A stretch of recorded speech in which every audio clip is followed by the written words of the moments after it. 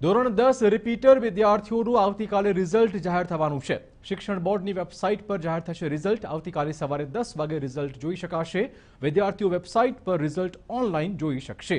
ધોરણ દસના રિપીટર વિદ્યાર્થીઓનું આવતીકાલે રિઝલ્ટ આવી રહ્યું છે